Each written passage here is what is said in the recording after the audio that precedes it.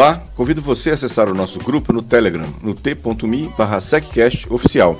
Se inscreva no nosso canal no YouTube e clique no sino para receber o aviso das novidades.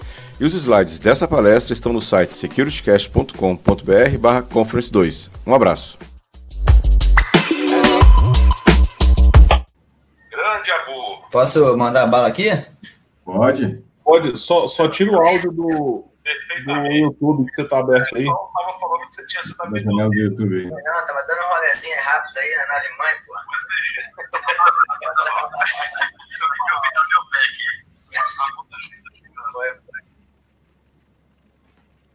Positivo aí? Positivo, agora ficou agora top. É só tu compartilhar a tua tela aí e mandar ver, mano. Antes, antes disso, eu vou fazer tua apresentação, óbvio. Tom. Deixa eu.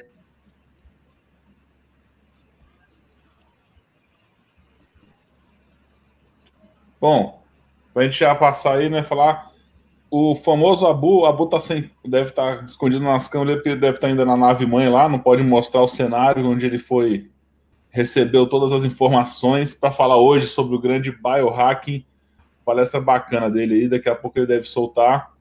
Então, Abu, eu acho que não precisa nem te apresentar, você é o cara de todos os fóruns, todo mundo consegue, eu só não posso falar o teu nick, né, porque se a gente falar o teu nick aqui, eles vão cortar nosso vídeo na Vai- mesma hora. Faz isso não, faz isso não, abafa. Hoje, hoje nem é sexta, pô. Pera aí. Pois é. É sábado da maldade. Não, tranquilo, de boa. Muito, obrigado por ter aceito a palestra aí, tá? Valeu mesmo. Foi muito bom você ter vindo aí. E a gente pode contar contigo para falar sobre o assunto aí nessa campanha aí, nessa nossa campanha para apoiar quem precisa nesse momento aí, beneficente. Valeu mesmo, cara. Quem bola. puder depois aí continuar contribuindo, a gente já passou, só para falar que a gente já passou é, de 1.400 reais, mil- tá quase 1.400 reais na nossa vaquinha.com.br e aqui no nosso chegou já a 465 reais, a gente tá, vai bater os 2 mil aí novamente, se tudo der certo. Obrigado por tudo aí, vamos lá pro Abu, para essa tua palestra de biohacking, Abu. Valeu. Falou. Deixa eu compartilhar Ah. aqui, peraí. Boa. Pô, a imagem do Alcion parece até cinema de Hollywood, rapaz. Pô, dá. A resolução ali é de 4K, mano. Que Tá isso? longe. O cara tá até com 20 anos aí.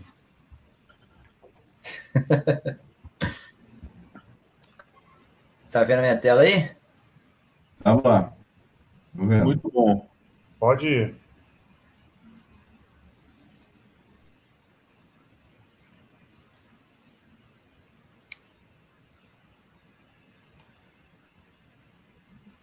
Eita, ferro.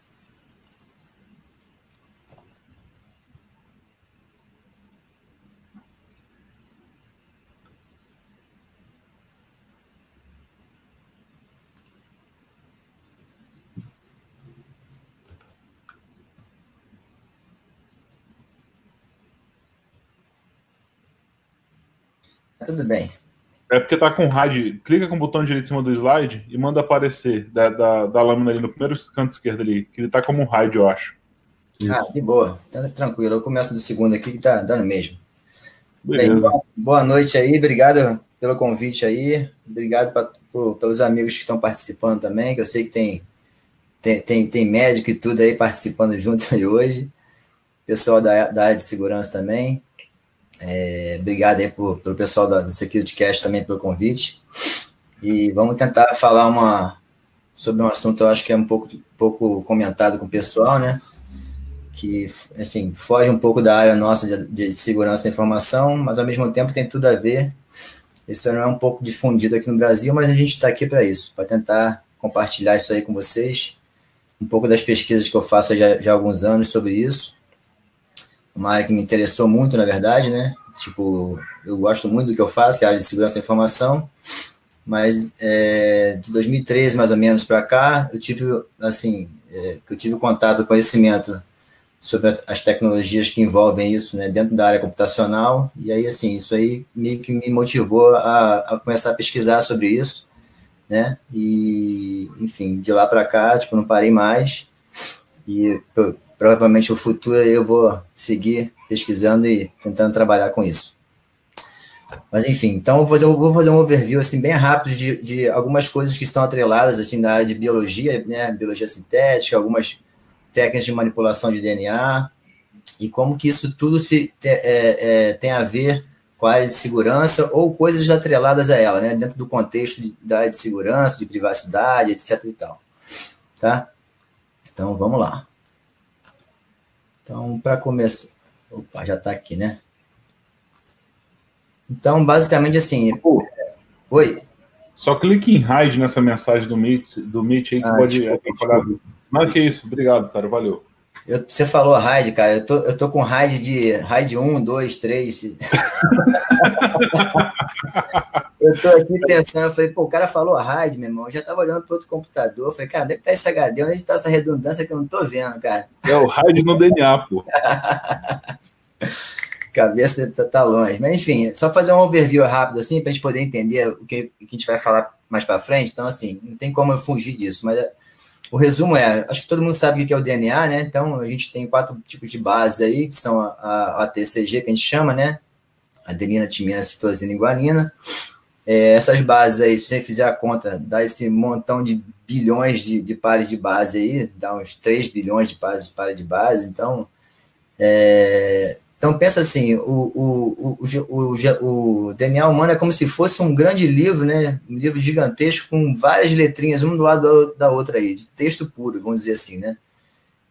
Então, basicamente, o DNA é isso, ele é formado, né, de 20 a 25 mil genes que a gente tem, e esses nucleotídeos, fosfato, pentose, nitrogenadas, não vou me alongar nisso, porque isso é um pouco mais da biologia, mas é, é, é o que é formado o DNA em si, né? Uh, ficou, e ficou um pouco fora aí o contexto, então, enfim, os conceitos sobre DNA e cromossomos, não, não, não, não precisa me bater não, Alcion, que eu botei sua foto ali, mas a gente não sabe ainda se você é XY ou XX, mas... nós, somos... nós somos formados com 22 cromossomos autossômicos e é um deles que é o que define nosso sexo, né? Formando aí 23 pares. Então, o, isso aí são as cadeias de DNA, né? Essas duas fitas aqui, direita e é, aqui eu não posso mais ser o mouse aqui, mas você vê que elas são ligadas assim, sempre tem a, a combinação do A com o T e o C com o G, né? Elas estão sempre ligadas uma base com a outra aí. Então, isso aí é o que forma a cadeia, nossa, nossa cadeia de DNA, entendeu? Enfim, o RNA também é o seguinte, esse cara é mais importante, ele também é importante porque ele é o cara que ele, ele tem a função de sintetizar as proteínas, né? ou seja, é, basicamente é tudo que a gente precisa, tudo que a gente faz, sei lá, tudo, todo o nosso funcionamento do corpo, ele é baseado nisso aí também, porque ele precisa, do, ele precisa sintetizar proteínas para a gente poder fazer nossas funções, né? Então, assim, eu, eu botei rapidamente aqui três tipos de DNA, de RNA, desculpa, é que um é o mensageiro, né, que ele tem a função de transportar a informação de um lado pro, de um de um de um loco para o outro. É, o, o, o, tRNA que ele transporta aminoácidos até o local onde vai sintetizar. São coisas assim um pouco mais aprofundadas que eu não vou entrar em detalhes porque acho que não, não cabe, é só um overview mesmo. Né, o, RNA, o rRNA, o ribossomo, que ele compõe a estrutura dos ribossomos, etc e tal, que faz a síntese e, e, o, e o SNRNA, que ele é o, é o responsável, é o, é o, basicamente é um dos, um dos, principais ali, mas eles não estão presentes nas células procarióticas, por exemplo. Né? E ficou cortado aqui em cima, né? O, o acho que, eu, acho que a, a versão que eu botei do, do arquivo, ela eu botei uma versão de um, de um outro programa, né, eu acho que do OpenOffice, e aí quando eu abri aqui no outro, outro programa deu essa falha de enquadramento aí, mas tudo bem. É, então, o exon, o que, que, é, que, que é a, versão, é a relação entre o DNA e o RNA? Né? Então, o exon, que é o, que é o que a gente chama que é a parte codificante do DNA, versus o intron, que é o não codificante, ou muitas vezes as pessoas chamam de DNA lixo, né? que a gente não sabe, até a ciência, na verdade, não sabe o que, que uma, mais de 50% do nosso DNA significa, tipo assim, então é, é, se você reparar no processo de transcrição, você vê que ele retira os introns, tá vendo? Eles, eles descartam esses introns e ele forma, e depois da tradução, ele, ele, ele forma a molécula de proteína que a gente precisa, né? Funcional. Então, assim, é, é, engraçado a gente pensar que esse intron, tipo assim, se ele, se ele é descartado, né, e a gente, se a gente não, não, não tem função, por que, não, por que não eliminar ele do nosso código genético, né? Então, assim, obviamente a gente não pode fazer isso porque a ciência não sabe o que, que faz a metade, né? Pelo menos a metade do nosso DNA inteiro a gente não sabe para que, que serve. Então, se tira ele, a gente morre. Então, se, se, então, de alguma forma, ele tem uma função. Embora ele esteja descartado no processo, ele me parece que tem uma função aí, a gente não sabe ainda, né? Nem a ciência sabe. E aí vem o projeto do genoma humano, né? Isso aí é um projeto antigo, né? Tipo, já tem alguns, algumas décadas aí. E aí o Deus já, já, disse, já disse ali, né? o genoma humano foi revelado. Malditos hackers, agora tem que mudar o password. tem até um, tem até um, vou citar o nome, mas tem uma figura exótica aí no, nos grupos, né? Me parece que toda segunda-feira tem um mantra né, de trocar a senha, aquela coisa toda, ponto, vírgula, sei lá, espaço, né? Tem uma, tem uma, outra aí. São os famosos periquês, né? É isso?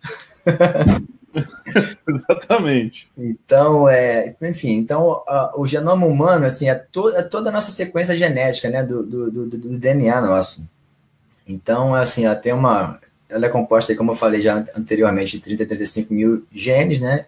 Que equivale, esses genes equivale a, 1, a, a 2% do nosso DNA codificante. Ou seja, vamos considerar assim que todos os outros 93, 97%, vamos dizer assim, tipo, não é tão responsável assim, entende? Tipo, se, se eu consigo fazer todas as sínteses de proteína, todas as funcionalidades estão dentro desses 2, 3%, todo o resto não faz sentido. Tipo assim, por que, que eu, tenho, eu, eu tenho então os outros 97% do DNA, né? Se eles não têm. Se, se esses 3% já é suficiente para fazer a maioria das coisas. Mas é aquela velha história, a gente não sabe ainda, mas, enfim, tem uma, uma longa, longos séculos pela frente para entender o resto, o que, que significa.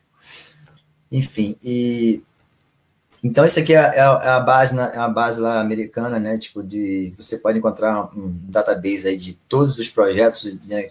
Todos, assim, vou dizer todos, mas provavelmente a maioria deve estar aí dentro. Então, você consegue baixar aí diversas é, informações relacionadas a genomas, né? Inclusive, incluso o, o, humano. Aqui é um pouco do, ma do mapa que, de, de como é que ele é, depois que ele é sequenciado, né?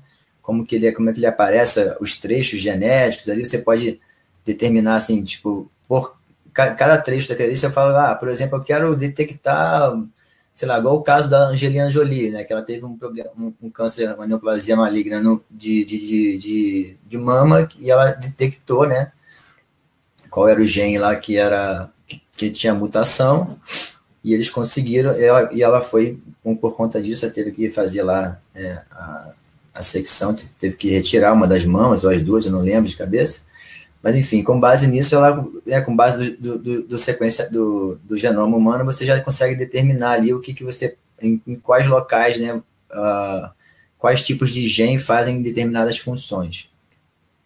Então, aqui tem um pouco de um uns exemplos aqui, tá vendo? PT, GSI, CIK, sei lá, vários tipos de gene aí que você que serve para você poder estudar, fazer qualquer tipo de análise.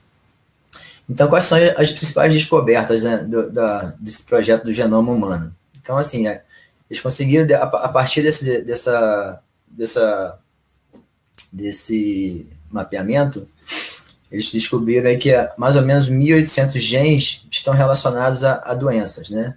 Então, alguns genes são suspeitos por, por doenças hereditárias, né?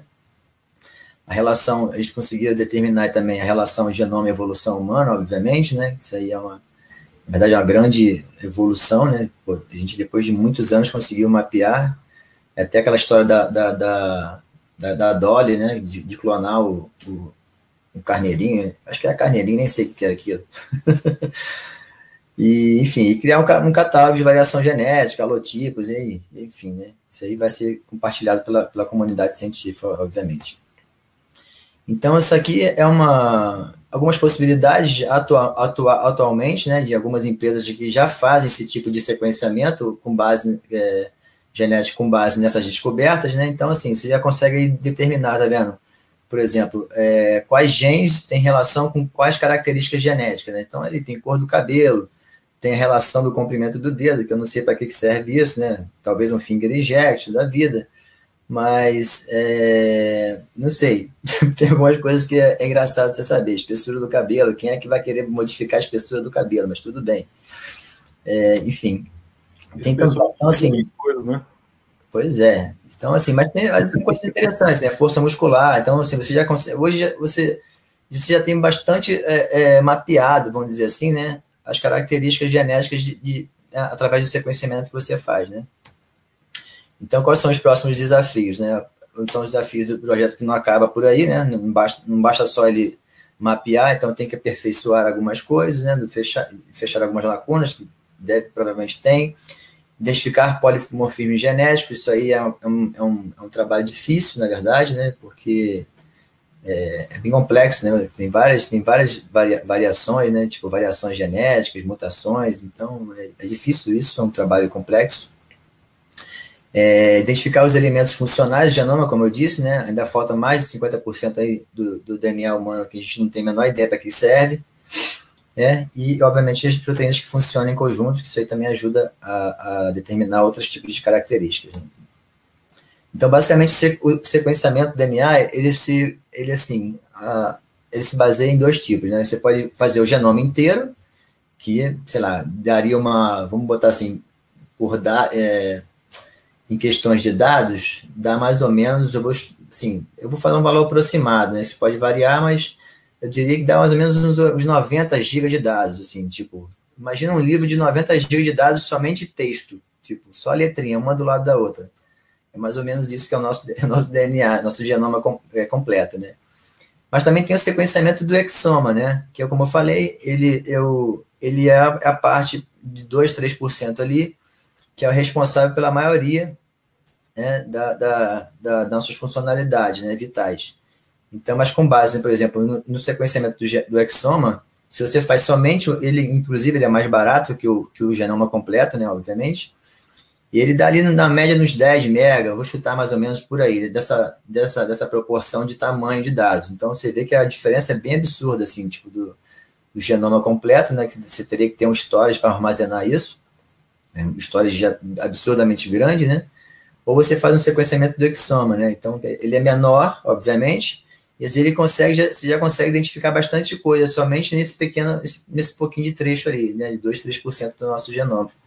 Então, então assim, então as aplicações, é, alguns exemplos aí, algumas doenças cardíacas, a síndrome de Brugada, enfim, e algumas cardiopatias congênitas e miocardiopatias familiares, que são todas atreladas ao coração, né? E aí, como é que é o, o, uma, da, uma das. A gente chama até de geração, primeira geração de sequenciamento, né? Então, tem, os, tem, tem alguns métodos mais antigos, é o Sanger e tal, eu nem vou comentar aqui, mas ele é, é então tem o PCR, eu botei o PCR aqui, que ele é, como ele é um, é um, dos mais, é um dos mais comuns hoje em dia, vamos dizer assim, né? Inclusive para o próprio Covid aí, é, eu vou acabar comentando um pouco mais para frente sobre isso. É, então é uma reação em cadeia de polimerase. O que, que significa isso, né? Então a gente pega, que eu vou falar mais um pouco na frente, então como é que a gente faz essa, esse sequenciamento, né? Então é, então, é uma técnica, basicamente, que ela, ela amplifica né, in vitro uma sequência de DNA.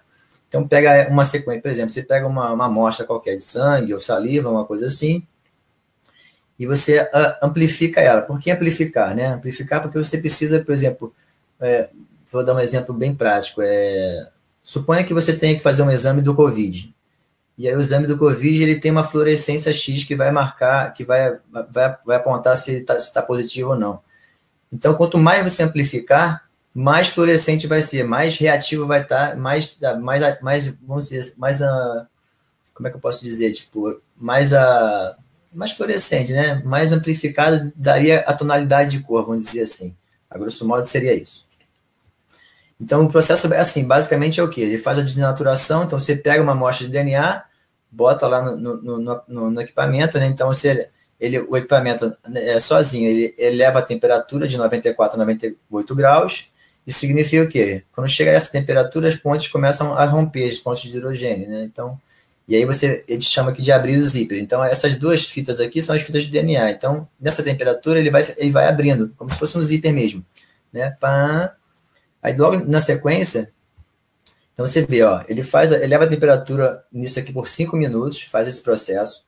Depois ele entra no processo de hibridização, que é o anelamento que a gente chama, né? Que ele faz o quê? Você pega esses primers, que, tá, que são essas duas, esses dois trechos pequenininhos que estão, a, a, estão fixados ali nas extremidades de cada fita.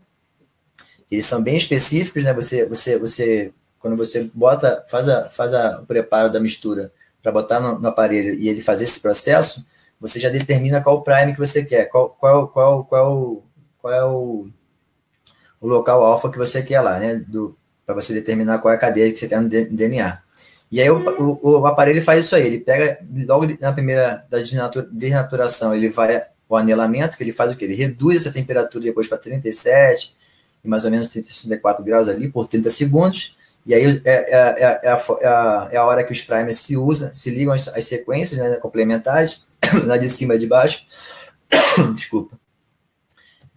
E na sequência faz o quê? Ele eleva de novo a 72 graus por um tempo entre 2 e 5 minutos, que é o tempo que ele faz o quê? Ele reconstrói, vem a DNA polimerase, né, que, é, que é aí que vem o nome né, da, da, da reação, na né, cadeia de, de DNA polimerase, ela faz o quê? Ela vem reconstruindo o restante do DNA a partir do prime, entende? Então, a, a partir disso, ele faz o quê? Ele reconstrói de uma fita de DNA, ele reconstrói outras duas completas. E aí, o que a gente faz agora? A partir disso, a gente faz o quê? A gente amplifica. Então, uh, uh, então voltando aqui rapidamente, ó, o processo funciona aqui. Ele tem o DNA, o sample de DNA, né? Tem a polimerase aqui, ataque polimerase, os primers, os nucleotídeos, a TCG, né, obviamente, mistura tudo no tubo, bota naquele, no, no termociclador ali, que é o aparelho que, que, é, que, faz essas elevações e diminuições de temperatura, e começa os ciclos de, de, de, de, do processo de PCR, né? Então ele desnatura, abre a fita, anela ela com os primers, logo na sequência ele faz a extensão e começa a completar todas as cadeias de, de, de, DNA, tanto a de cima quanto a de baixo. Então ele faz de uma fita, ele faz duas. Então, se você for reparar aqui, isso, isso aqui é amplificação, né? Então você pega aqui de um target, você produz dois de dois, primeiro ciclo, você faz dois aqui, no segundo ciclo você já faz quatro, é exponencial, né? 2, 4, 4 faz 8, 8, 16, 16, 32 e assim vai. Até 40, mais ou menos 40 ciclos, que é o, que é o comum que as pessoas é, usam atualmente. Então, o, o, PCR do Covid, por exemplo, é mais ou menos isso, né? Então, uh, e aí você dá para você até calcular, né? Mais ou menos, tipo assim, o tempo que leva. Então, se leva 5 minutos para fazer um ciclo, mais é, 30 segundos, mais 2 a 5 minutos depois. Então, só daí vou chutar por alto, já deu uns 10, 12 minutos, né? Para cada ciclo. Então, você imagina, você tem que fazer 40 ciclos, Vamos supor que a gente gaste 40, vou chutar por alto, uma hora para cada, para cada, para cada amostra, né? Então, talvez seja isso um ponto de, dessa, dessa dificuldade que a gente está tendo aí de, é, de, de, fazer os testes para o Covid é, usando essa, essa, essa, esse, esse método, na verdade. Na verdade, ele usa o RT-PCR, que é o Real Time, né? Tipo, mas assim, a diferença é bem pequena. É, ele não deixa de ser um PCR também, ele faz essa mesma coisa aqui. Então, talvez seja esse, esse é um dos, dos empecilhos que a gente está tendo com relação a, a, aos testes do Covid serem mais rápidos, né? Infelizmente, mas, mas a gente está avançando nisso, né? Então, assim, esses são equipamentos que fazem isso, né? Então, só para a gente ter uma ideia, esse OpenPCR, ele é, uma, é um projeto open source e você, né, ele, ele há dois anos atrás, é, ele custava 699, 200 dólares a mais, hoje já diminuiu, então significa que está caindo o preço, né? Isso é bom. Só que o, já em comparação aos outros que já são né, com, com, com tecnologia proprietária, você não tem acesso ali muito ao, ao, ao, programa e tal, são coisas proprietárias, já o custo é bem elevado, vai de 7 a 50 mil reais um, um termociclador ali. Então, assim, dá para você ter um, um dá para você fazer um sequenciamento em casa, né? Tá aí, tá aí a prova. Esse projeto é totalmente open source, o software, tudo dele é aberto, tem o GitHub, tem tudo dele. Então, assim, é, eu, eu, por pouco eu não comprei ele, uns três anos atrás, mas, enfim. E aí, enfim, o RT-PCR para o Covid. Então, é, essa notícia é bem recente, se não me engano, é de semana passada. É, tá tudo ok? Tá, tá me ouvindo aí, ô Marcelo? Tá, sim, tá bom. Ah, tá, desculpa. É, que eu acho que ele tá tô, igual o Maverick agora há pouco, que ele falou, falando, pô, ninguém falou nada, parece que eu tô falando sozinho. Mano, isso aí só vocês que os ETs entendem, mano. Você tá entrando no nível aí. Pode crer, pode crer. Então vamos lá. Aí o corona... Então essa aí, essa notícia é bem recente, semana passada. Isso aí é, é uma notícia boa, vamos dizer assim, né? Que o Hospital Albert Einstein, que como ele é particular, e também é, é, a gente sabe que é um, é um ótimo hospital, tipo, de excelência. E com, com, com, com o teste atual que eles usam, eles, eles têm capacidade para fazer 96 amostras, né? Um custo de 250 reais por teste. Então já, daí já dá para ter uma, uma noção de, de, de não é todo mundo que tem acesso a isso, obviamente, né?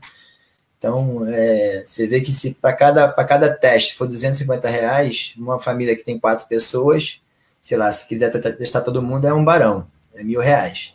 Então, acho que não é todo mundo em plena crise que vai ter mil reais para fazer os testes. Então, mas enfim. É, e aí eles conseguiram fazer com uma, uma, uma empresa parceira deles, é, usando aí a, a questão da, da inteligência artificial, né? e eles conseguiram desenvolver um, novo equipamento, né, vamos dizer assim, que eles conseguem já fazer uma, uma testar 1.536 amostras ao mesmo tempo? Então dá uma correlação aí de mais ou menos 24 mil testes, mil, mil testes, né, vamos dizer assim, amostras por semana. Daí, se você for fazer também a conta de quantas, qual a capacidade dele para fazer testes em massa, isso aí provavelmente vai levar bastante tempo para testar todo mundo. E o custo também a gente não sabe, mas provavelmente vai ser mais barato que esses 250, porque né, se aumenta a amostragem, isso aí, se melhora os processos, obviamente os custos também tendem a cair. E assim esperamos que caia bastante e eu possa fazer o teste com 50 reais em casa. e aí vem esse, a, a, a, os sequenciamentos de, o que a gente chama de Next Generation Sequence, né? ou seja, a, segunda geração, né? Então, tem alguns equipamentos aqui, só para a gente ter uma ideia aqui de valores e, e, de capacidade de processamento, né? Então, a gente vê aqui o método Sanger, ali o primeiro da esquerda, que é, é um dos mais antigos, um dos primeiros métodos, na verdade. Só que a capacidade dele é muito baixa, né? o valor é muito, o, o, custo de sequenciamento é baratíssimo, né? 48 dólares. Mas, assim, é, a capacidade dele é muito baixa, né? Tipo, os dados que ele executa ali, tá vendo? 250 KB por, por, por, por, sei lá, não sei se é por hora, por minuto, não sei como é que é a relação.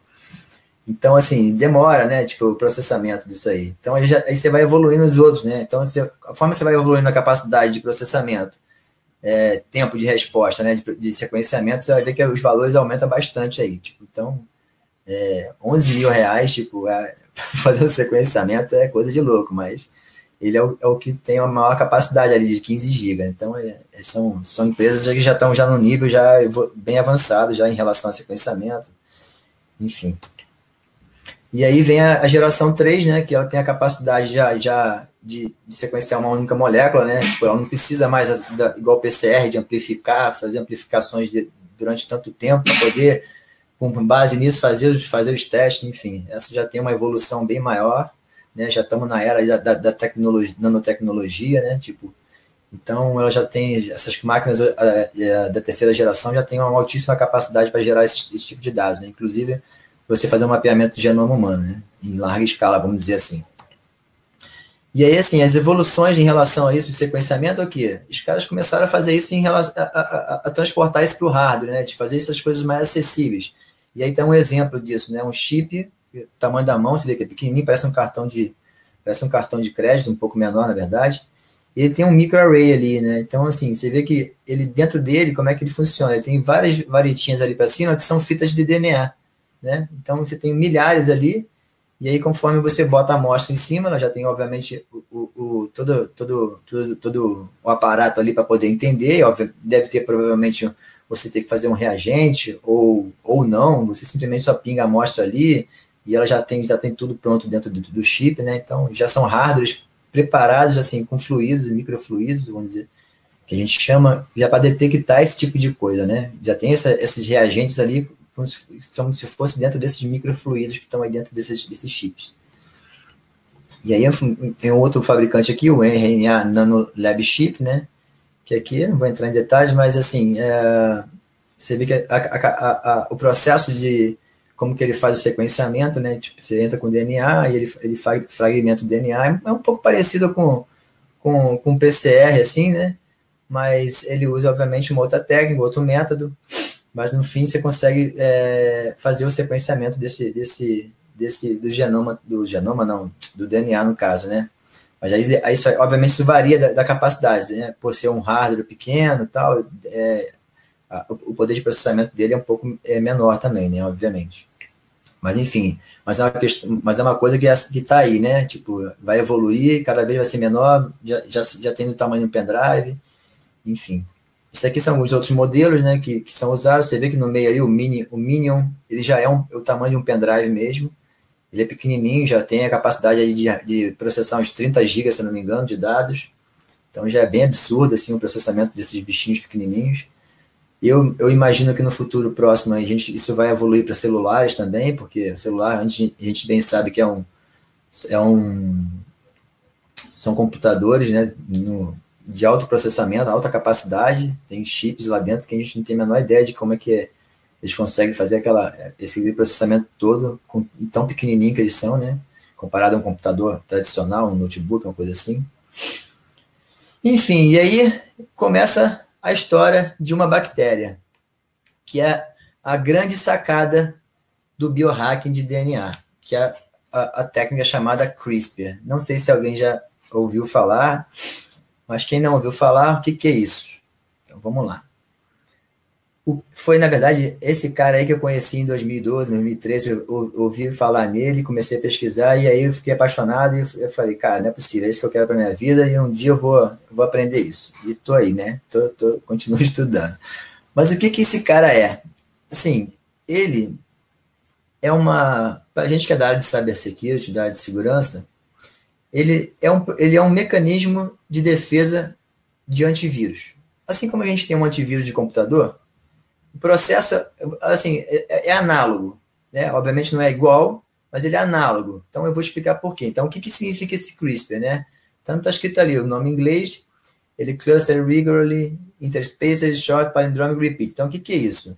São sequências inter, interespaçadas o que é um palíndromo, né? Não sei para quem sabe o que é um palíndromo. Palíndromo é como se é, é como se fosse a palavra ovo, né? Você lê de um da esquerda para a direita ou da direita para a esquerda é a mesma palavra, né? Ovo, rana com H, né? H A N N A H, rana. Você lê de um lado e lê da esquerda para a direita, direita para a esquerda é a mesma palavra. Então isso é um palíndromo, né?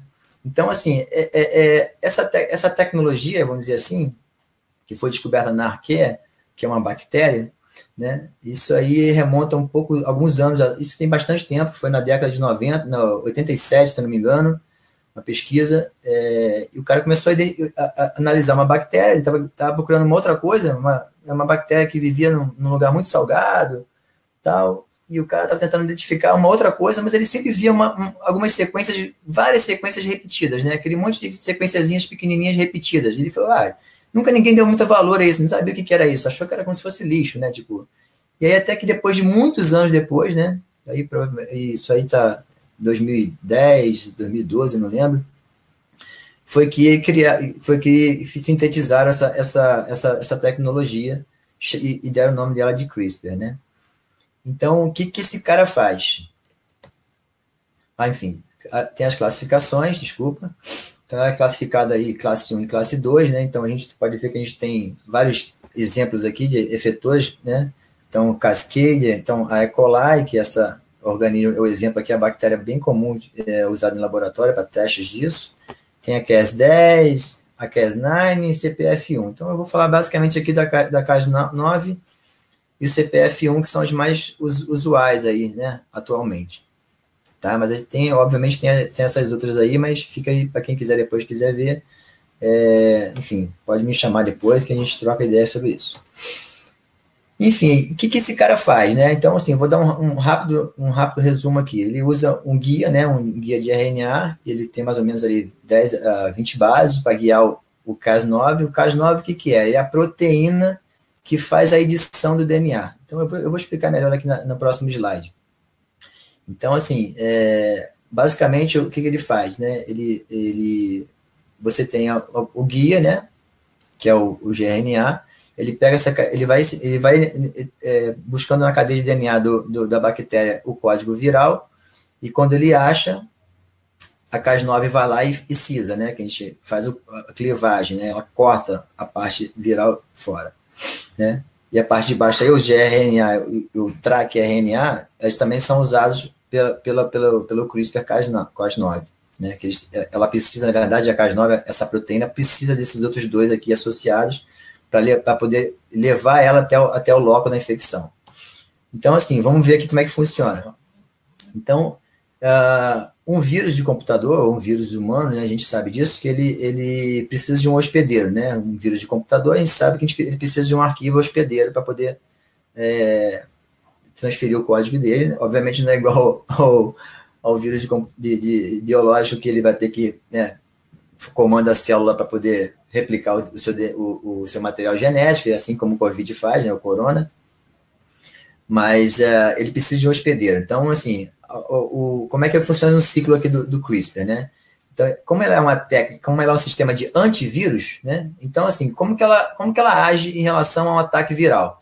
Então, ali, aquela, cápsulazinha em cima ali azul é o vírus, né? Então, o vírus vai, ele trepa na célula, injeta seu código viral na célula, e a partir do momento que ele injeta o código viral, o que, que o sistema de, né, da, da bactéria faz? Então, na fase de adaptação, ela pega ali o new spacer, né, derivado do vírus, ou seja, ele pega né, as sequências genéticas do vírus, ele vai pegando cada pedacinho né, e bota um espaço no meio. Pedacinho, espaço, pedacinho, espaço, pedacinho, espaço. Daí o nome interspaced, né, do, do CRISPR. Né? Então, ele é interespaçado, né? São, são, são, são, são moléculas ali inter, interespaçadas, as sequências. E aí, com base nisso, ele pega lá o CRISPR-RNA, ele é formado, né? Ele cria esse trechozinho, que é o padrão, vamos dizer assim, seria a assinatura do vírus, né? Do antivírus de computador seria a assinatura, para fazer uma analogia. E com base nessa assinatura, ele pega isso, pega um outra, uma outra molécula lá, um, a molécula que vai guiar, e ela vai e faz o seguinte: ela fala, tá, eu tenho essa sequência aqui, agora a gente vai varrer nosso, o meu DNA inteiro atrás desse, desse, desse padrão. Quando ela acha esse padrão, a Cas9, que é a proteína que corta, que é a tesoura, ela vem exatamente no ponto onde está o trecho viral, corta fora e liga de volta o DNA. Então, basicamente, é isso que ele faz. O sistema antivírus da bactéria, que é o chamado CRISPR, é exatamente isso que ela faz. Ela identifica o padrão, quando entra o material genético, ela, ela, ela, ela faz, ela gera né, o template desse cara, varre o, o DNA inteiro em busca dele, quando ela acha o padrão, ela vai lá cirurgicamente, né? Porque ali você. qual que é a grande, qual que é a grande é, preocupação em relação à adição do DNA? Que você, se você pegar uma base ali, suponha que num, lado tenha AT, do outro lado tem AT, ATX, ATG, por exemplo. Se você, na hora de cortar, você tirou o, um dos T's, por exemplo, e na hora de emendar, aquilo ali que não tinha nenhum problema anteriormente, pode ser que passe a ter uma mutação. Então, essa é a grande é, preocupação, e na verdade é o, é o, é o, é o grande, é o grande plus né, do, do, dessa tecnologia que ela faz essa, essa, essa cisão, essa clivagem, esse corte precisamente, sem, embora tenha, assim, obviamente tenha o, o, o tenha preocupação em relação a isso, tá? De, de, de, mutação, isso não é descartado mas é uma, é uma precisão cirúrgica. Então, é por isso que ela está ganhando muito espaço, é uma coisa que está revolucionando, porque pela facilidade dela de, de, uso, né? Enfim, e aí a evolução disso, o que, que é do Cas9? Veio o Cas12A, que é o CPF1, que ela foi descoberta também em outras três bactérias. Então, assim, você imagina na quantidade de bactérias que a gente tem no mundo, a quantidade de outros sistemas antivírus mais, mais sofisticados que a gente pode descobrir. Então, assim, é um mundo à parte, né? Tipo, tem um bilhão de lá de quantas bactérias tem no mundo. Imagina você ter que é, é, identificar esse, esse, essa, esse sistema em cada uma delas e o que, que cada um faz e, e se a gente poderia usar uma com a outra, integrar um, um, uma tecnologia, uma técnica com a outra, né? Vamos dizer assim, uma tecnologia da bactéria, sei lá, pode ser que seja isso também. Enfim. E aí, assim, quais vantagens em relação ao, do CPF1 em relação ao Cas9, né? Que é a, a, a outra proteína. É, ela difere algumas coisas, por exemplo, ela só quer, ela só requer o cRNA, ela não usa mais o, o, o a, outra molécula, então só usa uma. Então é, é, tem, essa diferença, né? Ela cliva também o DNA de forma diferente. Em, em setembro de 2015, esse Zang Lab, que é um, é esse cara é fantástico, o, o líder desse, desse, desse esse chinês aí, é, o cara, o cara é surreal. Assim, ele é novo, deve ter uns 30, 30 e poucos anos, mas o cara já fez cada coisa que é absurda. E, enfim, é, e ela é mais precisa do que o CRISPR-Cas9. Mas temos aí alguns, alguns estudos recentes que tem, assim, ela, ela, é, ela é boa, ela, ela tem suas vantagens em relação ao Cas9, mas em, alguns, em algumas características, em alguns modelos que ela, que, que ela, que ela é usada, ela tem algumas, algumas problemáticas ali, mas assim, ela não deixa de ser boa em relação ao Cas9 também, é um complementar, vamos dizer assim, acho que cada uma faz, tem o seu papel. Né? Então, uh, então ao, resumo aqui das vantagens. Né? Então, ela, o Cas9 usa dois RNAs, o CPF usa um só, o Cas9 corta as duas fitas do DNA no mesmo local, o CPF1 corta, os cortes são deslocados, isso é, evita que ocorram mutações, né? Então, uh, como ele também corta longe do local que reconhece o padrão, se você, na hora que, se você usar o CPF1, por exemplo, para cortar o local que você achou o, o, o, o, trecho viral, e na hora de emendar o DNA de volta, reconstruir, ele ali ocorra uma mutação, você ainda tem a chance de você recortar ele para evitar essa mutação. Então, ele tem também essa vantagem em relação ao CAS9, que o CAS9 não consegue fazer isso. Enfim, tem outras, é, outras, outras vantagens aí, por exemplo, a malária, né? É, a malária, você, acho que não sei se, você, se alguém já sabe, mas é igual o Zika, a malária, eles pegaram os mosquitos, fizeram a edição genética né, do, do, do, mosquito, e começaram a produzir mosquitos geneticamente modificados sem a possibilidade de pegar malária ou pegar a zika, né, trans, transmitir, na verdade, né, é, a malária e a zika. Então, assim, eles estão fazendo isso, liberando o, o, os mosquitos no mundo, e os mosquitos vão procriar, e os, os descendentes deles não vão vir mais com, a, com essa capacidade de permitir né, a transmissão da malária, da zika, etc. Então, isso é mais um, um mais um do, dos usos aí do, do CRISPR, né. É, um, vai sair também uma, uma, uma, uma, pesquisa recente, no final do ano passado, aí, também que é o uso do, do, do CAS12, né, do CPF1, e aí o cara fez uma, eles fizeram, os pesquisadores fizeram uma, um mix aí, de, usando o SARS-CoV, né, o COVID e o HIV, é engraçado que isso aí é, é, no final, tipo, bem no finalzinho de 2019, essa pesquisa, então dá a impressão que parece até que já sabia, né, parece até que o pessoal já sabia sobre essa coisa aí, mas deixa quieto isso. Será? Pois é, nunca se sabe, né, meu irmão? É final de 2019, né? Tipo, bem no final. Vai saber, né? Muita coincidência, né? Inclusive pelo nome, mas tudo é. bem. E, enfim, aí é um pouco da, da, das diferenças das duas que eu falei aí, né? Você vê que uma usa lá o, o track e RNA, a outra não usa, e, enfim, no, no final as duas fazem, o mesmo, fazem a mesma função, né? Que é eliminar o código viral. E aí, assim, também é uma bem atual também agora, é uma notícia bem atual, foi a primeira vez que foi usado, autorizado para o FDA americano, né, que é como se fosse a Anvisa aqui, que é o que regulamenta lá o uso de, de medicamento, etc e tal, eles autorizaram pela primeira vez o uso dessa tecnologia para o diagnóstico do SARS-CoV-2, né, então é um, é um equipamento pequeno que você faz um teste e a, a partir do momento que ele detecta lá o, o, o trecho genético do, do, do, do, corona, ele emite lá, ele emite um sinal, né? E aí você pode coletar esse sinal pelo, pelo celular, se não me engano também. E ele, enfim, ele emite esse sinal fluorescente, você detecta, então você diz ali se está positivo ou não, em relação a essa tecnologia aí. Então é legal usar ela, finalmente permitir o uso dela, porque isso facilita muito, né? Mas vamos evoluir. E aí o método que foi usado foi esse Sherlock aí, depois, quem quiser, eu passo, eu tenho material, bastante material sobre isso. Passo também o, os links que tem, os sites e tal. É, esses são os home kits, né, do, do, do, do, do CRISPR, né, é o, o famoso do it yourself, né, então você pode entrar nesse site aí, o Deodin, ele, é antigo já, mas tem esses kits todos que você poderia comprar, né, e fazer suas experiências com CRISPR em casa. Então, para quem tem, tem, curiosidade de fazer, sei lá, a bactéria ficar fluorescente ou ficar azul, alguma coisa desse tipo, você já tem a possibilidade disso de alguns anos, você comprar esses kits e, e preparar em casa. Tem manual, tem tudo, né? Então, para quem tem curiosidade de estudar, aprender como é que funciona, tá aí a oportunidade. E aí, mais uma vez, era uma vez, né? Era uma vez em que usamos essa. Live. Abu, desculpe, pode continuar. Não, não, tranquilo. De boa aí? De boa, só, só foi falar em clonagem que a galera Cara, já. Você viu? Eu botei aqui, ó. Era uma vez, pum, caiu. São os alienígenas, eu tô te falando. ficou, ficou até bom, cara, porque parou no slide aí e segurou.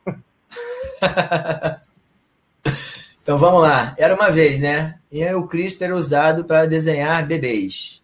Por incrível que pareça, a gente vai chegar lá na frente vai comentar sobre a questão ética disso, mas os chineses, obviamente, adivinha quem que fez isso, né? Tá aí, os chineses, como sempre, é, na contramão do, da, da- do resto do mundo, eles fazem o que eles bem entendem e estão pouco se lixando para o que o resto pensa em, em relação a isso. Então, assim, teve várias discussões em relação a essa época. Então, esse caso aí, o que, que é? É o caso que o cara, os, os pesquisadores tinham um pai e a mãe que tinham HIV, né? Tinham, eles eram portadores de HIV. E a mulher estava grávida e a criança, a probabilidade era muito alta de ter, de ter o HIV, obviamente. E eles editaram, bem no início do, né, do- do embrião, editaram geneticamente o bebê e tiraram, vamos dizer assim, a grosso modo dizendo, eles retiraram o gene que faria com que a criança nascesse com HIV. E essa criança, essas duas crianças nasceram. E, e mais uma outra, é, uma outra paciente também do- dentro do estudo desse- desses pesquisadores que também estava grávida, também estava grávida de um bebê geneticamente modificado com CRISPR, ou seja, e esse bebê nasceu e ninguém sabe onde está, está por aí. Ou seja, essa que é a questão. Ficou, ficou uma discussão violenta no mundo em relação à questão ética, obviamente, o que, que é essa questão de você produzir bebês modi- geneticamente modificados, mas o fato é que ninguém bloqueou isso, a criança né, é, nasceu sem esse problema, a outra a gente não sabe para onde está, mas está aí no mundo também e vai saber como é que vai ser a, a- como é que vai ser a evolução dela em relação a isso. Então, assim, já tem alguns livros aí, quem quiser se interessar em ler nisso, então, acho que o, não sei se isso vai ser o futuro, mas é, provavelmente é, isso aí, obviamente, isso aí é uma alusão, né? Mas já tem livros aí, ó, escritos sobre os design babies, né? Como você montar um, um, um, um cérebro de criança, sei lá, seu próprio cérebro, sei lá, uma coisa assim. Então, a gente tem uma alusão do futuro de que você vai poder escolher crianças do jeito que você quer, um Beethoven, ou um cara que é um especialista médico, ou sei lá, um mega cartunista, uma coisa assim, né? Então, os exotic babies ali, como se estivesse numa prateleira os bebês, né? Tipo, é meio bizarro pensar isso, mas é, é infelizmente é assim que o mundo está caminhando e enfim, tem esse filme também, interessante também que esse filme é de 97, né? Eu botei ali 23 anos depois. Ele é um filme que retrata um pouco dessa, dessa, dessa ideia, de- dessa, da ficção científica de, de um mundo que você que existe uma elite genética né, que persegue ali pelo espaço, aí faz uma, um pouco, né, mistura uma coisa meio, meio espacial no meio e tal. Mas ele retrata um pouco, assim, eu, eu- ele é antigo, mas eu recomendo verem, porque ele é engraçado que há 23 anos atrás já tinha essa ideia e hoje em dia já é possível fazer isso aí. Então é bem louco essa coisa. Então, dentro, do, dentro puxando um pouco do, do CRISPR do hacking, né, da nossa área, é, então, assim, em 2016, 17, um- um- alguns pesquisadores fizeram o quê? Eles conseguiram hackear o, o, o sequenciador genético através do DNA. Como é que eles fizeram isso? Então, tem o sequenciador, né? Então, se você pega uma amostra de DNA, pede para ele fazer sequenciamento, ele vai sequenciar né, e te dá o resultado. Né? Grosso modo é isso.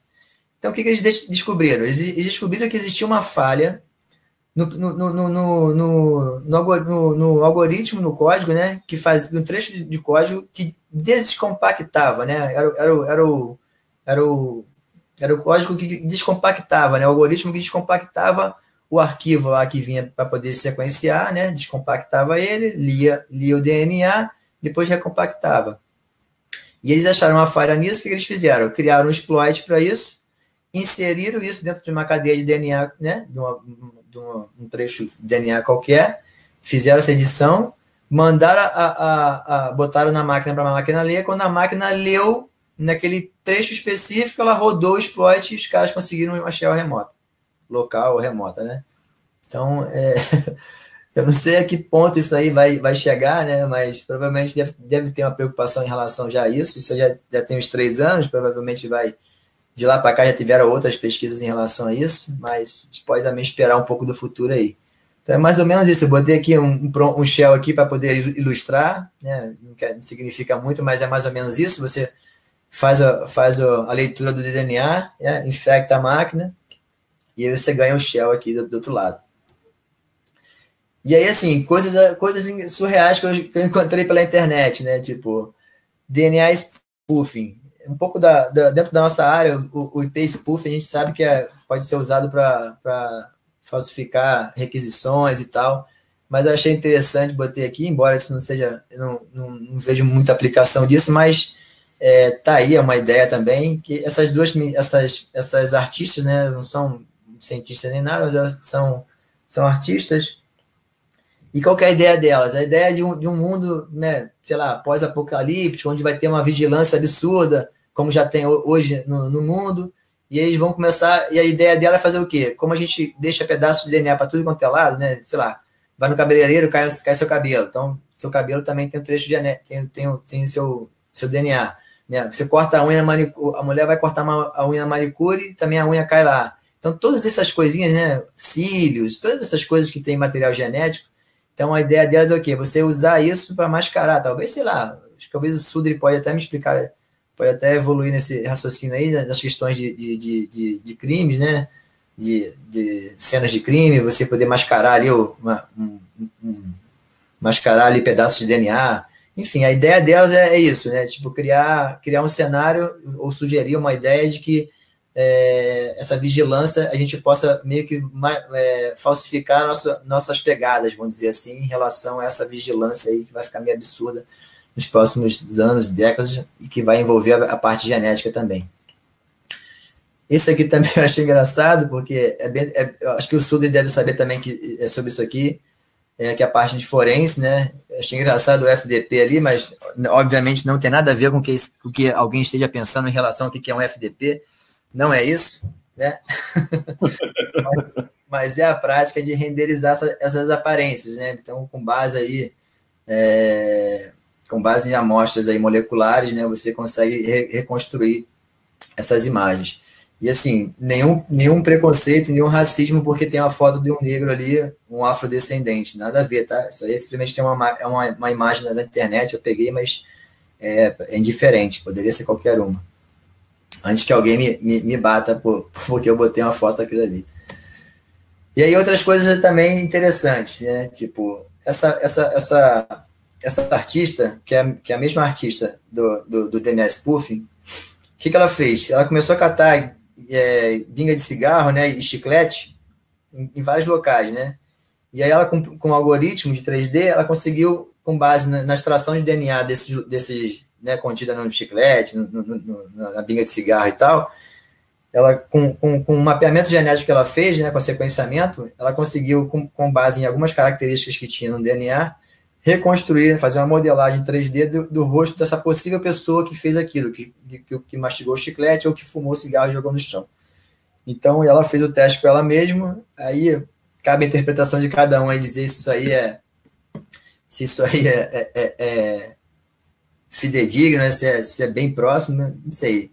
Teria que fazer uma análise mais precisa, não sei se, se é 100%, mas o fato é que ela consegue reconstruir, né? e então, provavelmente isso aí possa evoluir no futuro próximo com inteligência artificial, etc. Outra coisa interessante também usar o DNA é data storage, né? Então, assim, a gente está entrando no, mundo, né? A Microsoft já tem planos com isso, tem, na verdade, tem vários estudos em relação a isso, várias empresas é, trabalhando com isso, então é armazenar dados em, em DNA. Eu fiz até, em 2014, eu até fiz um, um trabalho do MBA lá sobre isso. É, então, assim, qual que é a diferença entre o DNA e, e, e, os, e as mídias de, de, de armazenamento atuais, né? Então, assim, prós e contras, né? Tipo, a vantagem do, do, do armazenamento de dados em DNA é que ele tem a capacidade absurdamente maior. assim, não dá nem para comparar a capacidade de armazenamento em relação a, um, a, qualquer outra mídia atual de armazenamento. Ela, vai, ela dura séculos, né? Tipo, ela, tipo assim, não é um aparelho que queima da, de, depois de cinco anos. Ela vai durar mais de 100 anos, né? Esse dado armazenado no DNA. Só que ela tem, ainda tem a problemática da, da conversão do dado, né? Binário para o quaternário, né? O 0 e 1 um, para o ATCG, que é, o, que é a base genética, né? Então, existe ainda um, um, ainda um empecilho aí de performance, mas, assim, já tem bastante evolução nisso e, é, cara, é bem louco, assim, pensar que em um futuro próximo a gente vai ter poder tirar uma foto, sei lá, com 50 megapixels, tipo, não importa se ela tem 100 mega ou se tem 500 mega, ou, e você vai poder armazenar, tipo, num, bater um storage de 100 terabytes por um valor de 5 dólares, sei lá. Então, tô chutando, mas é mais ou menos isso que vai vir pelo futuro aí. Então, a ideia de, como é que funciona é, é, é isso aqui assim, mais ou menos, é, é, o exemplo, né? Ele a, eles fazem, eles chamam de binarization, né? Tipo, então ele converte os, os, 0 e 1 ali, eles codificam ela para base, né? de nucleotídeos, né? Do código de ATCG, sintetiza ela, depois se, sequencia, decodifica e, e, e, lê. Então esse processo ainda é lento, né? Você vê embaixo como é que é, ó, mais ou menos a ideia. Tempo de acesso, tá vendo? Um flash, né? Um HD, 10, 10 segundos, e um DNA storage é 10, né? Tipo assim, ele é, é, é, em relação a horas, né? Tipo, então, assim, mas a durabilidade também é, tipo, é centenária. Então, é, vai, obviamente, vai, vai, vai diminuir esse tempo aí. Isso aí vai chegar um tempo, vai chegar uma hora que isso aí vai ficar bem acessível. É, deixa eu correr aqui que eu acho que meu tempo está passando.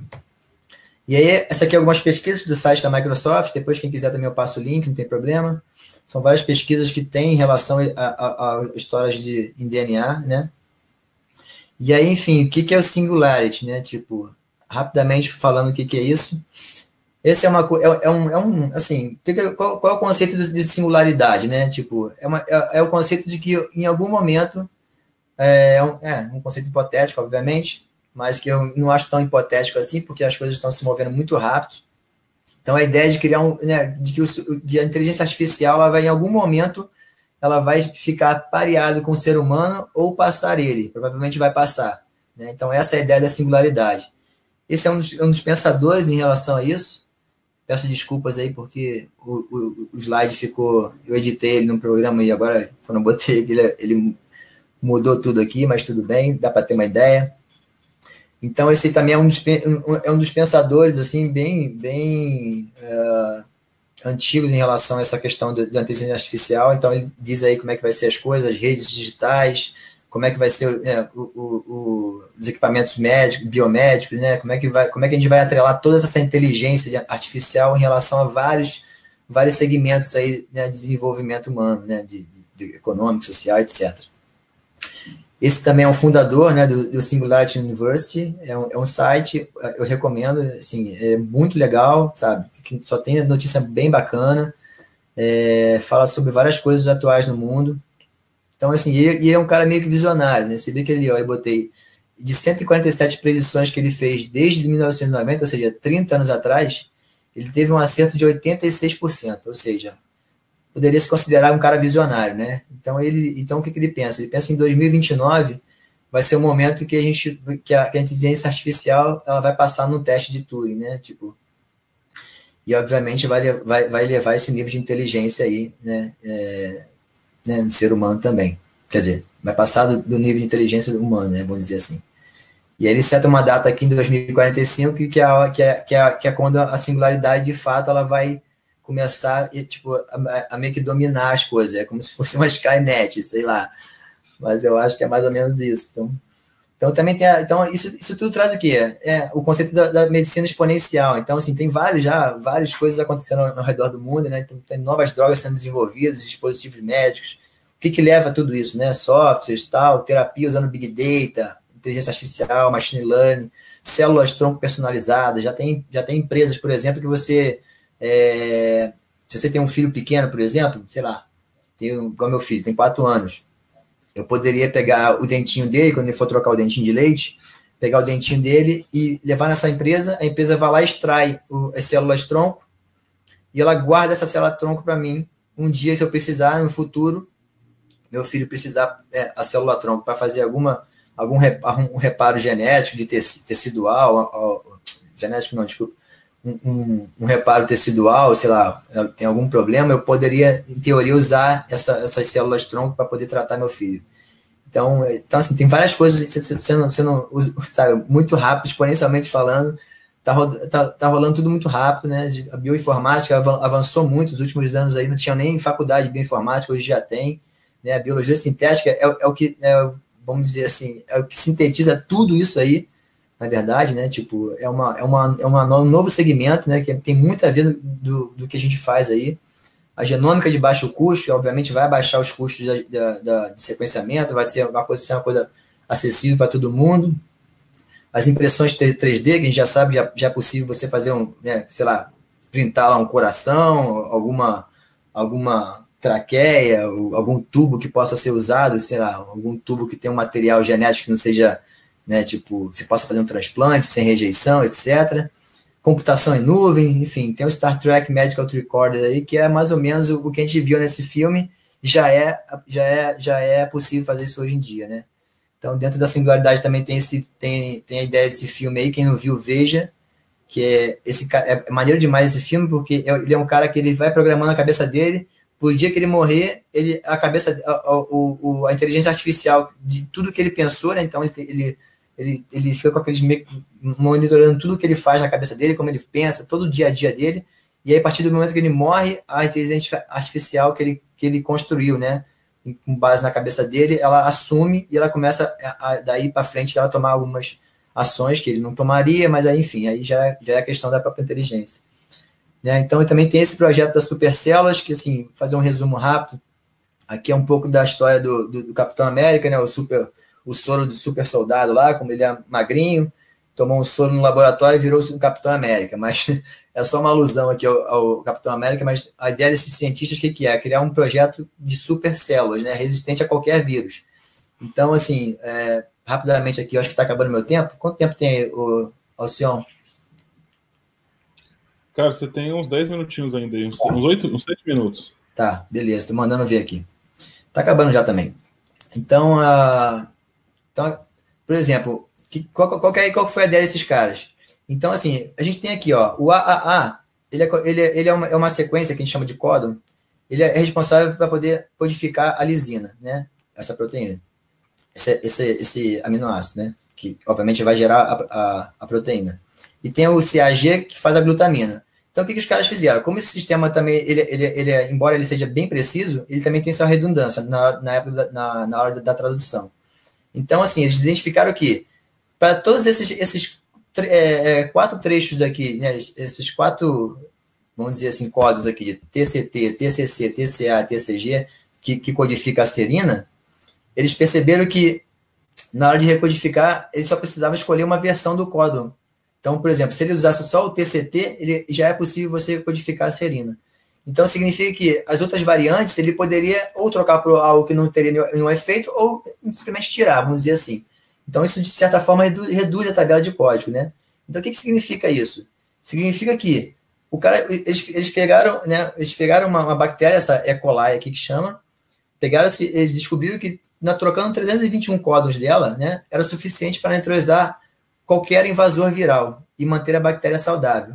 Então, o que, que significa isso? Significa que, por exemplo, é, se você faz isso, na hora que o vírus infecta a bactéria, como se fosse o Covid, ele entra na bactéria, né? Ele entra através da, da, da proteína ACE2, né? No nosso caso humano, que ela é vital para outro, outros processos lá, né? Tipo de, de, de, de, de pressão arterial, etc. Mas é, Imagina que ele entra na bactéria e na hora que ele pede, como ele é um, ele é um, ele é um vírus de RNA, ele precisa que a bactéria re, é, é, multiplique ele, né? Então ele usa todo o maquinário da, da bactéria, da, da, da célula, para poder reproduzir o código viral dele, e daí ele se multiplicar e, né, e sair e infectar outras células. Aí imagina que ele chega ali e ele não tem esses espaços para poder codificar o, o, o código viral dele. Se ele não tem espaço, não tem o que fazer, ele fica ali preso, fica sem saber o que fazer. Entende? Então, isso é uma forma de você né, eliminar essa questão do, do, vírus. Então, só que é só, o que, que acontece? Para você fazer isso aí, você vê, ó, eles codificaram cada sete códigos recodificados, foram necessárias 150 mil alterações genéticas. Ou seja, no humano, isso, isso seria igual a 400 mil alterações em 20 mil genes. Ou seja, é um, é, é, um, é, um, é um custo absurdo fazer isso, um tempo absurdo, né? É muito lento fazer isso, na verdade. Então, o que, qual foi a ideia que eles, eles criaram? Eles criaram essa ideia do, do GP Write, né? Que é criar um, um genoma humano do zero, from scratch, né? Então, é mais fácil criar do zero do que recodificar tudo, entendeu? Então, imagina que isso também vai chegar um, um, ponto que a gente vai fazer isso, né? Vai criar células que são imunes a, a, a vírus, né? Então, é louco. Então, e aí vem a parte mais louca de tudo, que é para poder fechar a palestra, que é a programação celular. Não está aparecendo ali, mas é programação celular. Então, o gato preocupado se ele vai latir, a molecada ali desesperada, não sabe o que vai acontecer. Mas a, a, questão é que hoje é possível a gente programar, isso aí vai muito de encontro a, a, a todo mundo que está vendo aí da área de segurança. Hoje já é possível a gente programar uma célula pelo computador, pelo código, como, fazendo código. Como assim como a gente faz código para qualquer outra coisa, programa programa para computador, agora a gente vai fazer um programa que vai fazer com que a célula, ou a bactéria, sei lá, o ser vivo, faça o que a gente bem entender. Então, o que, que é isso aí? Isso é uma plataforma online, isso é um teste que eu fiz na época lá para a Berrac, em 2017. Mas é um, assim, é, é, um, é um template básico, você vê que eles usam uma linguagem ali, né, a Verilog, né, que é uma linguagem já usada aí para bastante tempo para poder programação de hardware, né? Provavelmente o Júlio Della Flora vai gostar de saber disso. Acho que o CSH também já, já mexe com isso já há um tempo. E, enfim. E aí que basicamente o que é? Você programa, né? Então você tem os circuitos genéticos, então Uh, teve uma equipe lá do MIT, alguns anos atrás, eles mapearam, fizeram esse mapeamento de, de portas lógicas computacionais para portas genéticas, né? Conseguiu fazer esse mapeamento. E então, assim, já é possível você programar um programa, e aí, com base no programa, ele vai usar, obviamente, ele vai se comunicar com as portas lógicas do computador, o computador vai traduzir isso para portas genéticas, genética vai converter isso bioquimicamente, e você vai inserir isso na bactéria, e a bactéria vai ficar azul, sei lá, por exemplo. Você, seu programa chama-se função azul e ela vai ficar azul. Ou, por exemplo, eu quero que minha mitocôndria produza mais energia, sei lá, tem várias possibilidades. Então, isso aqui é um, é um esquemário de como é que é, é, assim, não é simples, é bastante complexo, como que funciona a biologia sintética, né, da, dos promoters, né, de como é que funciona todas as expressões genéticas, o que que você pode é, positivar, qual gene que você, como é que você positiva um gene, como é que você anula ele, enfim, tem várias características, mas assim, é bastante interessante entender como é que funciona isso. Esse é um simpósio também que aí entra bem na questão da, da, da área de segurança aí, é, é, privacidade, tudo, tudo, toda a questão que envolve o sequenciamento do DNA, né, toda, toda a questão de, de, de privacy leaks, aí, ou seja, essas são várias apresentações, tem esse link embaixo, é, provavelmente tem várias outras palestras ao, ao longo dos últimos três anos aí. Mas isso aí é só para refletir assim, o, o que está rolando no mundo. Né?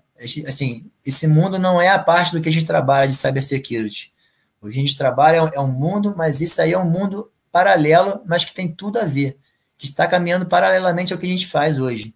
Então, assim, eu peço a todo mundo aí que trabalha na área, se alguém tiver interesse, comece a olhar para isso, porque, assim, já é o futuro presente, isso aí não tá, sabe, isso aí não é filme, isso aí já está acontecendo, tem diversos estudos usando é, então, assim, tem estudos que dizem como você usar criptografia para o DNA, como você usa senha, vai, vai acabar a senha, você vai usar a senha através de um celular que tem, que tem, o que tem a leitura de DNA, sei lá. Tem vários estudos rolando em relação a isso, integridade é, de dados, enfim.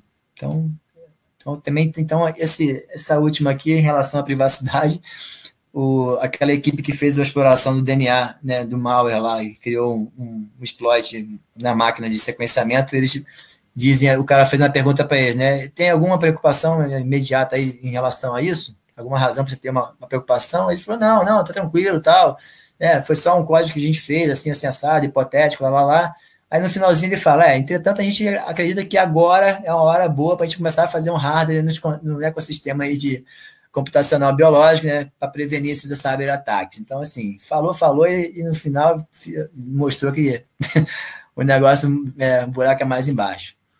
Enfim, ah, tá, ficou, ficou, ficou, ficou grande aqui, desculpa aí mais uma vez, mas isso é a questão ética, né, de, da, da questão ética e o bio, bioterrorismo. Então, assim, para fechar, toda a questão ética em relação a isso, como é que a gente pode fazer, né? Tipo, sei lá, você modificar um bebê, qual é, qual é a relação, qual é, qual é a ética nisso, né? Será que a gente vai evoluir um dia para a gente poder entender que isso é, é possível fazer? É, sei lá, pelo menos dentro do, do, do conceito de, de, doenças, né? A gente poder retirar essas doenças do, da, da, das possíveis crianças que venham nascer com elas. É, não sei, a gente precisa amadurecer, porque também tem a questão religiosa por, por trás disso, tem uma série de questões éticas aí, sociais, que envolve tudo isso, mas ao mesmo tempo também tem o bioterrorismo, né? Na medida que isso evolui, é, o bioterrorismo, é, pessoas que são do mal, obviamente, também têm acesso a isso, e, enfim, a gente não sabe o que vai acontecer para frente, então provavelmente a gente precisa sempre estar tá, sempre tá antenado para se proteger, porque isso já é uma realidade. Então, para fechar aí, acredito que a gente tenha que talvez dar pelo menos uma olhada para ter uma noção do que que que está rolando no mundo em relação a isso, que já está já está rolando. Então, assim, só vai mais, mais um pouquinho chega, chega até a gente. E quando chegar, a gente é bom, é bom que a gente estejamos preparados. É isso. Desculpa aí me alongar. Se alguém tiver alguma dúvida, estou à disposição. Obrigado aí por todos. Não, ninguém tem dúvida nenhuma. Todo mundo entendeu tudo, está perfeito. Abu. Diga. Deixa, deixa eu te falar, mano. Tem uma coisa que eu tenho que deixar claro aqui. Uh, o que a gente descobriu no, no final de tudo é que você vai ter que se candidatar a ministro da saúde aqui, viu? Nós vamos mandar teu currículo lá pro Bolsonaro. Pode crer, mano é ser o novo ministro da saúde. Isso aí é que já, já tem uma, uma pá de fã aqui, já, já subindo a Abu para ministro. cara, mas é bem louco essa área, cara, na boa, assim. É, eu, eu espero que, assim, é, espero poder ter passado alguma coisa aí, pelo menos uma ideia. Não sei se eu fui claro em algumas coisas, mas estou aí para qualquer dúvida. Se alguém precisar de algum apoio, trocar ideia depois, a gente evoluir junto, pesquisar. Estou sempre aberto, vocês sabem disso. É, mas é uma coisa que me interessa muito, assim, você vê que atualmente eu, eu tô, faço biomedicina na faculdade é justamente para isso, né? Eu sou muito daquela coisa de entender a base das coisas, né? Não basta sair fazendo, né? Eu poderia fazer um mestrado, fazer um doutorado qualquer, mas eu tenho aquela coisa de saber entender como é que funciona a fundo, né, o corpo humano. Então, e é bem louco, bicho. Pô, cara, é, é um, é um mundo à parte, assim, dessa, área de, de, de hacking que a gente vive aí hack computacional. Ele é, um, ele é um mundo complementar, mas ele é bem louco, assim, tipo, entender. O corpo humano é, tem muitas sacadas, que a gente pode implementar isso na, na, na computação, sabe? Em programas, no dia a dia, até no próprio kernel mesmo. Quem sabe um dia o kernel, kernel computacional vira um kernel genético. Cara, eu acho que o Sudré tem umas perguntas anotadas aí, né? Sodré, eu botei aquelas partes diferentes só para só, só por você, hein? Pô, cara, mas aqui. É um, eu sei que você é um craque nisso. Pô, cara, tem muita gente trabalhando nisso, na parte de, de análise de cena de crime, com vestígios de fragmento de DNA. Tem muita gente trabalhando e, e, realmente funciona, cara. Esse é um negócio. Inclusive, estão discutindo a criação de um banco de DNA de criminosos aqui no Brasil, né, que era uma, uma iniciativa do ex-ministro Sérgio Moro, e parece que o negócio vai sair. É, é bem exatamente para isso que a gente está conversando, que você conversou aí agora. Exatamente para isso. É, tem algumas perguntas aqui, só antes, é, vou até fazer um comentário aqui. Fique à vontade. Você falou do, da Singularity University, né? Uhum. É, a gente tem um, um, capítulo do Singularity aqui no Estado do Espírito Santo. Eu, eu ajudei a fundar o capítulo aqui. Ah, é? Tem alguns eventos, palestras Legal, aqui da Singularity, aqui no, aqui no Estado do Espírito Santo, aqui em Vitória, na verdade, né? Pô, legal, me manda aí que eu, eu divulgo aqui. Legal, não sabia. Pô, legal, te mando sim. Te mando sim. Pô, bacana é. mesmo, hein? Pô, então não tô é. sozinho, não, pô. Então alguém cada área vem comigo, pô. Não, não, tem. Nós fomos o segundo. O primeiro foi em São Paulo, o segundo foi aqui, que a gente conseguiu criar aqui. Pô, que legal, capítulo. cara. Pô, é muito legal esse, o site dos caras, assim, a ideia, tipo, muito bacana. Muito legal. Muito, muito legal. Muito, muito pra frente, assim, sabe? Os caras estão é, muito, é muito acelerados tem umas coisas que pira a cabeça mesmo. É, não, acho, assim, acho que a ideia é a gente estar tá sempre antenado nessas coisas, né? Acho que a gente não pode ficar no nosso mundo, assim, é, só, só, focado no que a gente faz no dia a dia. Acho que a gente pode. Tem, tem muita coisa rolando fora, acho que é, é bom estar tá sempre aberto, né? Até porque isso é assim, quanto mais aberto você esteja, né? No bom sentido, óbvio. É, com certeza. É, formas de você tem de correlacionar as ideias, né? É. Mas fala aí. Beleza, vamos lá, algumas perguntas aqui. É, o Perguntar aqui quanto espaço ocupa para armazenar um cromossomo e um disco? Você tem ideia? Não, não tenho. É. Não tenho. É, Um cromossomo? Pô, é, Sacanagem, pô. Tem 23, pô. vai, vai armazenar um pra quê? Tudo bem, né? Ele-? Sei lá, né? perguntar aqui sobre a questão, a questão ética de, de, de editar um DNA ou de. Como é que fica isso? Tem discussão sobre isso. Pois é, tem, assim, tem, tem alguns sites aí, eu não estou lembrando de cabeça aqui, mas tem os sites que são específicos para isso. É, eu posso depois pegar aqui e mando lá no grupo lá do Security Cast, ou, ou para vocês, não sei como é que seja, se for melhor. Mas assim, é, é- isso é uma, é uma discussão assim, difícil, né? A gente sabe disso, porque tem muitas, muitos agentes envolvidos nisso, muito, muitos componentes, né, cara? Tem a- se, você, se você pegar só um deles, que é a questão religiosa, você já vai ver que vai ter uma série de problemas em relação a isso, né? Ser sempre. a- a- porque, porque pensa assim, uma- uma- a grosso modo, vamos, né, vamos dizer assim, pela questão da ciência, o que que é um ser humano? O ser humano é uma célula, sabe? É, um, é uma célulazinha, é um, é um- é zigotinho, uma, uma célula com a outra, que se uniram e criou um outro ser, sabe? Então, biologicamente falando, a gente é um serzinho, né? Vamos dizer assim. Então, é, como qualquer outro ser, né? Que, que nasce, cresce, desenvolve e morre. E só que no, no olhar da ciência, você é basicamente isso. Mas se você entrar para o lado do- do- da religião, vai ter religião que vai falar que você nasceu da, da, da, da- costela do Adão, a outra vai falar que você nasceu, sei lá, do, do, do bafo do mamute, sei lá, sei lá, não, tem, não sei nem se isso existe. Mas é, eu acho que assim, é difícil eu acho, discutir sobre essas questões, porque tem muitas, muitas va- variantes nisso aí, né? De concordância, assim. Mas eu acredito que em algum momento a gente vai ter que ceder a isso, porque eu, o meu ponto de vista é o seguinte: se você tem a oportunidade de fazer com que um- uma, um, né, uma, uma, uma- criança nasça né, sem problemas, porque, por exemplo, eu já vi vídeo na internet, olha só que engraçado. Eu já vi é, vídeo no YouTube, acho que eu não sei quem falou aí que também tem que tomar cuidado com essas coisas de ver filme, vídeo no YouTube. Algum palestrante falou isso aí agora há pouco aí. Não sei se foi o Maverick, sei lá. Acho que foi o Michael. Foi? O Michael que falou isso. Maico, né? Então, é, o Maico, isso. Então, assim, tem que tomar cuidado, porque tem umas coisas que, assim, se você não tem um pouco um ponto de vista crítico em relação, ou você tem uma noção do negócio, você meio que pega a ideia e toca para frente. Mas eu escutei a mulher falando assim, o cara perguntou para ela sobre essa questão do, do, do, do- do sequenciamento do CRISPR, né? E ela falou assim, ah, mas por quê? Eu, eu, não, eu, eu não acho, eu, eu tenho um pé atrás com essa coisa da edição genética de, de, de, né, de pessoas, porque pensa assim, se você, se a criança nasce anão, ah, ela vai viver um anão, pô. Ela, é um anão é feliz, pô, tranquilo. Ele é feliz na vida dele. Uma criança que nasce com Alzheimer, é, com Alzheimer não, com, com como é que chama? Autismo, é uma criança que também vive, tal, tipo, tranquilo, tal. Ou seja, não, a criança não vive tranquilo, entende? Tipo, não- o autismo não- é uma doença, cara, não é uma coisa normal. Então, se você tem a oportunidade de você curar ela disso e e fazer com que ela nasça é, é, uma pessoa, né, uma criança normal, por que não dar essa oportunidade para ela, né? Então é assim, eu acho que um questionamento ético, assim, pelo menos no meu ponto de vista, é isso. Se você tem a oportunidade de fazer isso, óbvio, obviamente, assim, sem causar nenhum pro- outro problema nela, né? Vai fazer uma edição de um, de um gene e causar uma outra mutação nela. E então, assim, então acho que também é, é bem recente isso, né? Falando-se isso na, na edição do humano, que a gente não, sabe se posteriormente, ao longo da vida, ela vai desenvolver uma outra coisa por conta dessa edição, a gente também não sabe isso, a ciência não, não, tá, não tem isso garantido, né?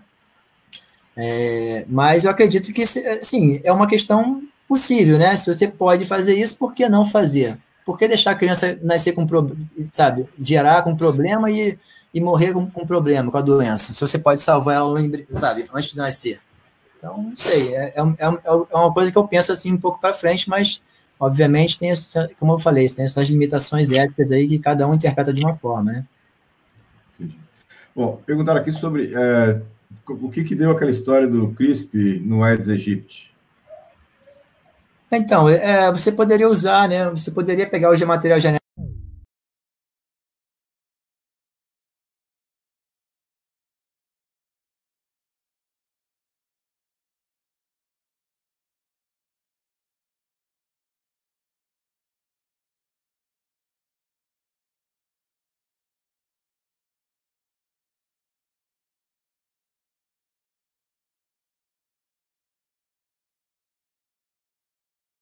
se você sabe que existe um- uma, uma, uma parte que é favorável à, à transmissibilidade dela, e você pode lá remover essa parte, ou, né, ou, ou, ou eliminar ela, uma coisa assim, ou desativar, sei lá, você pode criar novas muitas coisas, né? Porque isso é uma, isso é uma, isso é uma coisa que é um mercado que vai estar surgindo, né? Você ainda tá, ainda é, ainda é, ainda está incubado ainda, vamos dizer assim. Mas tem várias empresas já sequenciando, né? Tem, tem até um projeto, na verdade, já tem, já tem uns, alguns anos já, que os caras fizeram um mapeamento de, da sua ancestralidade, né? Então, assim, a- o cara mandava para você um kit, você chegava em casa, botava sua saliva no kit lá e mandava o kit de volta para a empresa, né? Você não tinha basicamente custo nenhum, o cara te mandava o kit de graça. Só que ele está tendo seu genoma de graça. E o que, que, você, o que, que ele vai fazer com o seu genoma? Ah, ele vai fazer um cruzamento ao redor do mundo para dizer no final que você, pô, legal, você tem sua ancestralidade, você veio, uma parte da sua família veio da Europa, sei lá, tipo, assim, para mim, para que, que serve? Para nada, entende? Eu não quero saber se, se, se uma parte minha, do meu ancestral, veio da, da montanha do, do, do Himalaia. Não quero saber, eu quero saber que- o que, que vai fazer daqui para frente com o meu dado, entendeu? Então, assim, isso é, já é um mercado, eu acredito que o valor do DNA vai, ser uma- já é um valor absurdo né, de dados, assim, de, de poder, imagina, se eu tenho um DNA de uma pessoa, cara, eu tenho tudo dela. Eu sei exatamente o que ela faz. É diferente de você ter um, sei lá, vazou um dado seu, vazou um nude. Isso é uma coisa, uma foto, um vídeo, sei lá. Isso é, sei lá, naquele momento você faz do corpo. Tudo bem, isso também infrin- infringe a, a, a- a- viola a privacidade aí, né, os direitos e tal. Mas assim, o genoma não, é exatamente o que você é, sabe? Não tem mais nem menos, é exatamente o que você é, cara. Então, assim, qual que é o valor disso, entende? Então, a, a, a, a, meu, minha provocação aqui é essa, assim, qual é o valor disso? Por mais que a empresa tenha política e tal, tipo assim, mas tá, beleza. Em que, em que garante se amanhã ela não vai ser invadida se tudo vai, isso vai vazar, né? E a questão da LGPD, será que a LGPD por si só já vai, já vai contemplar isso? Será que isso já está contemplado na, na LGPD, na verdade? Que eu nem sei dizer isso. Assim, acredito que não, né? Mas talvez a gente evolua para isso, mas é, não sei, cara, assim, para mim eu não faria não, eu, eu. Por mais que eu tenha vontade, mas eu assim, não faria não, nenhuma empresa não. Eu faria em casa, em algum laboratório, ou então assim, uma pessoa que eu confio muito, que eu vou lá, sequencio, o cara me dá o dado, apaga e pronto. Sei lá. Porque pensa, se você tem uma máquina, essas máquinas são todas importadas. São softwares proprietários. A pessoa que faz o sequenciamento da empresa, ela não tem é, é, poder sobre o software, né? E a gente sabe, a gente, a gente já está cansado de ver backdoors de software há, quantos anos já? A gente já sabe histórias desse tipo, né? Então, assim, empresas que têm, têm equipamentos de sequenciamento chinês, equipamentos americanos. Cara, quem que. A gente não tem controle sobre isso, entende? É um software proprietário, ele não é aberto, você não tem poder sobre isso. Você sequencia, guarda seu dado, sei lá, você pode usar, sei lá, contas políticas, formas de mecanismo de proteção do dado, mas a, a, máquina está lá, né? O software não é seu. E aí?